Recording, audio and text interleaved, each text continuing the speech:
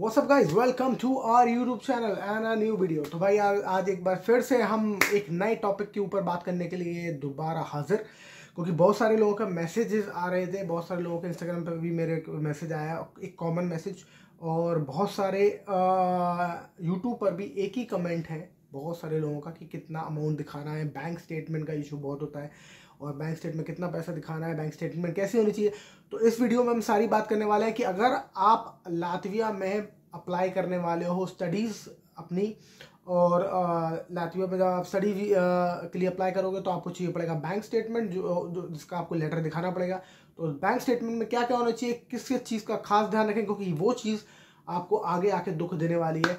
तो इस वीडियो में सारी बातचीत करने वाले हैं हम और आपको जो ये सीरीज़ है, जो डॉक्यूमेंट जो कागज़ करके सीरीज़ है इसमें तो मैंने इसके अलग से सीरीज़ बना रखी है जिसमें पीसीसी के बारे में हमने पहले बात की थी। अब हम कर रहे हैं बैंक स्टेटमेंट के बारे में बात। उसके बाद हम बात करने वाले हैं किसी और कागज़ के बारे में बात, जिससे कि आपकी ये पूरी सीरीज़ बन जाए तो आपको सारे जो लिस्ट ऑफ़ डॉक्यूमेंट जो आपको ज़रूरत पड़ेगी आपके एप्लीकेशन के लिए वो आपके लिए तैयार हो और आपको पता हो उसमें क्या क्या चीज़ें आपको ज़रूर ज़रूर ध्यान रखना तो आखिरी तक ये वीडियो पूरा सुन लेना और आई होप ये वीडियो आपको बहुत हेल्प करे आपकी जर्नी में, लातविया आने में या कहीं भी आपके फ्यूचर में जहाँ भी आप अपना जो भी प्लान करें। तो let's start the show let's start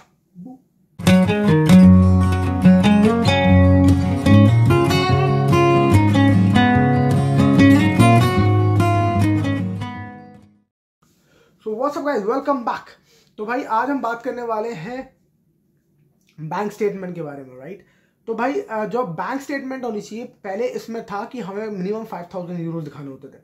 उसके बाद इन्होंने बैंक अकाउंट में अपना अमाउंट बढ़ाया। उसके बाद हो गया सात हज़ार यूरो और अब मैं सुन रहा हूँ साढ़े आठ हज़ार यूरो के आसपास हो गया। आठ हज़ार या साढ़े आठ हज़ार यूरो, आप एक बार कंफर्म कर लेना चेक कर लेना क्योंकि ये अपडेट हुआ है रिसेंटली और मुझे भी कंफर्म नहीं है कि कितना अमाउंट हो गया है। अब बट जब मैं आया था तब सेवन थाउज़ेंड यूरोज़ की ज़रूरत थी। उससे पहले जब मैंने सबसे पहले अप्लाई किया था तब फाइव थाउज़ेंड था। उसके बाद मैंने तब मैं नहीं आया। उसके बाद सात हज़ार यूरो जब मैं लास्ट नेक्स्ट टाइम आया तो सात हज़ार यूरो की ज़रूरत थी। तो तब सेवन थाउज़ेंड का बनाया था हमने और अब साढ़े आठ हज़ार यूरो आपके अकाउंट में होना चाहिए। साढ़े आठ हज़ार यूरो मतलब कि मोटा मोटा सवा आठ लाख रुपए के आसपास, आठ सवा आठ लाख के आसपास आपके पास होनी चाहिए आपके अकाउंट में राइट अच्छा ये अकाउंट का जो बैंक स्टेटमेंट बन रही है। बैंक स्टेटमेंट बैंक स्टेटमेंट नहीं बन रही सॉरी सबसे पहले दो चीज़ें हैं बैंक लेटर और बैंक स्टेटमेंट दो अलग अलग चीज़ें हैं याद रखिएगा। ठीक है अब आ, मुझे कंफर्म नहीं है कि बैंक लेटर और बैंक स्टेटमेंट अभी भी मांग रहे हैं कि नहीं मांग रहे हैं पर मेरे हिसाब से बैंक लेटर एक अलग चीज़ है और बैंक स्टेटमेंट अलग है क्योंकि जब मैं आया था आज से दो साल पहले दो साल डेढ़ साल डेढ़ साल पहले भी जब मैं आया था डेढ़ साल पहले जब मैं आया था तो बैंक लेटर अलग मांगा था बैंक स्टेटमेंट भी मांगी थी।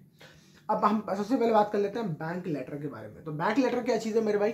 बैंक लेटर है जो आपको बैंक से मिलेगा जिसमें आपका मेंशन रहेगा कि भाई this account bearer having account number this this this is having account having account with us और एक डिक्लेरेशन सर्टिफिकेट होगा, उसमें लिखा होगा to whomsoever it may concern ऊपर टॉपिक उसका जो जो नॉर्मली होता है।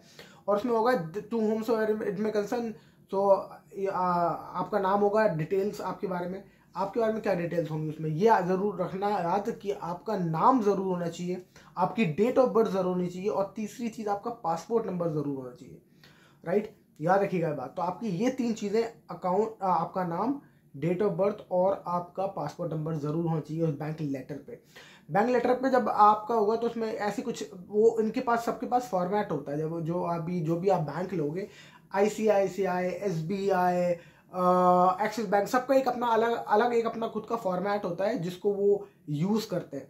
और वो कुछ कुछ कंपनीज़ का फॉर्मेट फिक्स होता है, उसमें एडिट भी नहीं हो सकता। तो वो कहेंगे कि हमारे पास तो ये फिक्स फॉर्मेट है हम आपको लेटर बैंक लेटर निकाल के दे देंगे पर हम उसमें एडिट नहीं कर सकते कुछ। तो ये भी एक इशू है। मैं आपको बताऊँगा उसको कैसे रेक्टिफाई कर सकते हैं अगर हमारे साथ ये प्रॉब्लम आ रही है और उसमें आ, आ, वो नहीं है वो नहीं कुछ एडिट कर रहे तो क्या कर सकते हैं? राइट पर फ़िलहाल हम बात करते हैं बैंक लेटर के बारे में। तो बैंक लेटर में आपकी ये तीन चीज़ें ज़रूर मेंशन होनी चाहिए। आपका नाम, आपकी डेट ऑफ़ बर्थ और आपका पासपोर्ट तो आपकी कुछ लैंग्वेज को इस प्रकार होगी कि this are client this having account number this is is having account with us and as on this date he have got this many rupees which is equal to this much euros right ये एक ideal language होनी चाहिए, जो एक bank letter में होनी चाहिए। कि आपके अकाउंट में सवा आठ लाख रुपए इंडियन रुपीज़ है which is equal to this many euros अगर आपका बैंक आपको एक ऐसी बना के दे देता है, एक ऐसा फॉर्मेट में तो बेस्ट है, इससे अच्छा कुछ नहीं है, जिसमें आपका डेट ऑफ़ बर्थ हो जाएगी पासपोर्ट नंबर आ जाएगा, आपका नाम आ जाएगा, और उसमें ये भी मेंशन कर देगा कि आठ लाख रुपए और इक्वल टू साढ़े आठ हज़ार यूरोज आपके बैंक अकाउंट में है एज ऑन डेट दिस याद रखिएगा जो भी आप बैंक लेटर लें वो तीन महीने से ज़्यादा वैलिड नहीं होता है। तो आप जब भी वो निकलवाएँ तो याद रखें जब भी आप आ रहे हो यहाँ तो जब भी आप आ रहे हो उससे तीन महीने के अंदर अंदर आपको वीज़ा के लिए वीज़ा लेना है और वीज़ा के बाद यहाँ आरपी के लिए भी अप्लाई करना है। तो तीन महीने बाद वो बैंक लेटर जो है वो आ, वो हो जाएगा क्या कहते हैं इनवैलिड हो जाएगा। तो आप उसको यूज़ नहीं कर पाएँगे।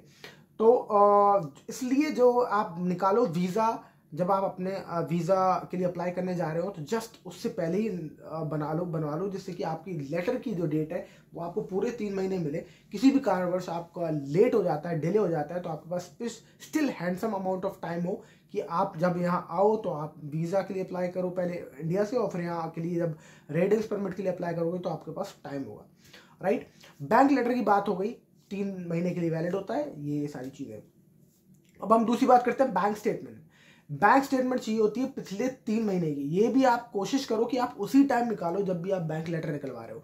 बैंक लेटर के साथ साथ बैंक स्टेटमेंट निकलवाओ। बैंक स्टेटमेंट में पिछले तीन महीने की बैंक स्टेटमेंट होनी चाहिए और उसमें आपका अमाउंट मेंटेन होना चाहिए। आठ, साढ़े आठ हज़ार यूरो मेंटेन होनी चाहिए। मतलब कि उसमें पैसे ट्रांजेक्शन होते रहे, पर आपका आठ हज़ार कोशिश करें कि मेंटेन रहे।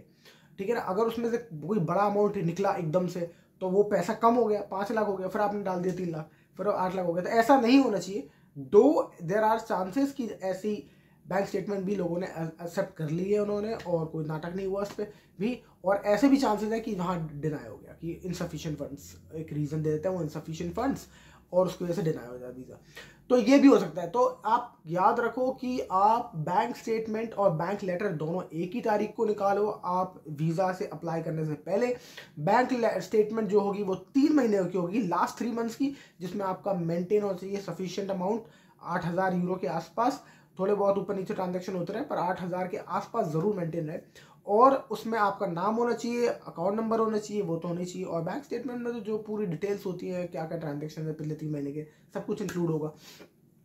तो वो आपकी बैंक स्टेटमेंट हो गई राइट तो आपके पास क्या हो गया? दो दो आपके पास डॉक्यूमेंट हो गया, एक बैंक स्टेटमेंट एक बैंक लेटर अब बैंक लेटर की बात करते हैं। अगर बैंक लेटर में एक दिक्कत आएगी बहुत सारे लोगों को, क्योंकि ऐसे bank S B I S B I bank का शायद नहीं है ऐसा कुछ नाटक बट आई बैंक में मुझे पता है कि ऐसा है और एक्सिस बैंक भी अपना खुद का फॉर्मेट है उनका तो वो उसी पे ही बना के दे देते हैं आपको।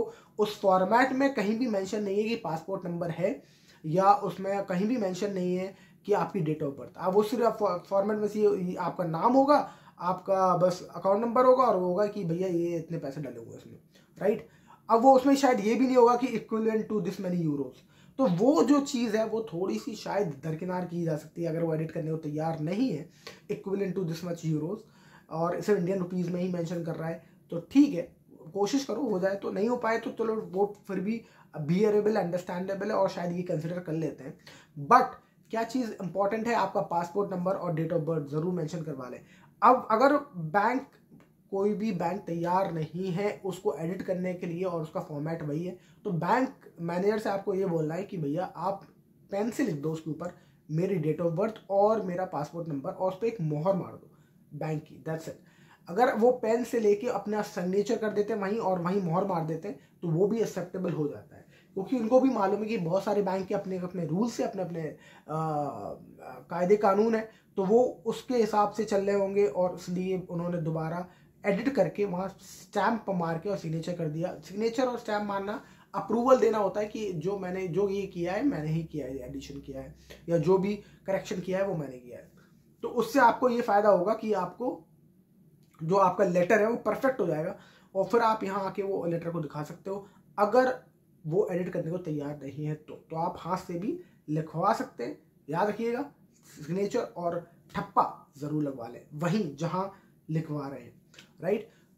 तो ये उस तरीके से आपकी बैंक स्टेटमेंट और बैंक लेटर दोनों डॉक्यूमेंट एकदम तैयार हो जाते हैं और आप इसको अप्लाई कर सकते हैं। उसके बाद आराम से वीज़ा के लिए। याद रखें दो दो डॉक्यूमेंट बनवाएँ कम से कम, क्योंकि एक आपको चाहिए जब आप वीज़ा के लिए अप्लाई करोगे और जब आप यहाँ आओगे और रेजिडेंट पर रेजिडेंट परमिट के लिए अप्लाई करोगे अपना, जिसको कहते हैं हम T R C temporary resident card for students जब वो अप्लाई करोगे तो उसके लिए भी आपको दोबारा ज़रूरत पड़ जाएगी इसकी। तो आपको दो डॉक्यूमेंट दो कॉपी ज़रूर चाहिए। कोशिश करें, तीन रख लें in for safe side right तो ये है पूरी ये है पूरा तरीका जैसे आप बैंक स्टेटमेंट बनवा सकते हो।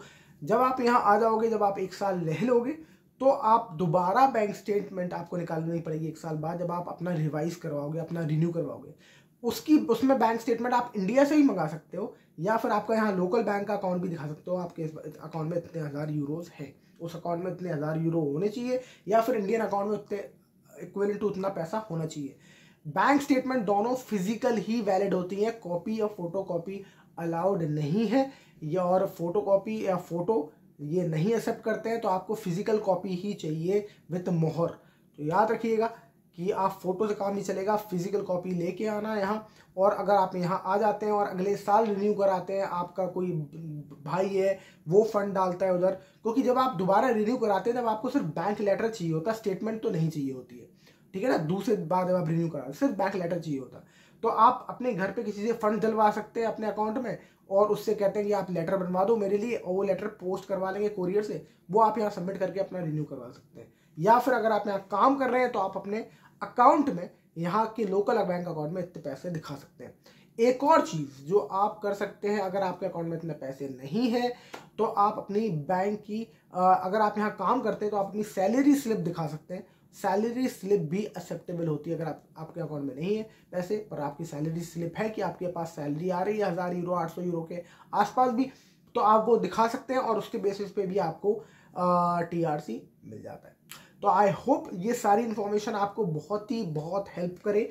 सारी चीज़ें मैंने काफ़ी क्लियर शब्दों में बताई हैं, जैसे कि आपको ज़्यादा समस्या ना हो यहाँ आने में, और मुझे जब मैं अप्लाई कर रहा था, जब मैं सारे डॉक्यूमेंट्स के, जब भी प्रोसेस के थ्रू जा रहा था तो वो मेरे पास इनकी इन्फॉर्मेशन नहीं थी। कोई इतना यूट्यूबर भी था जो बना रहा था।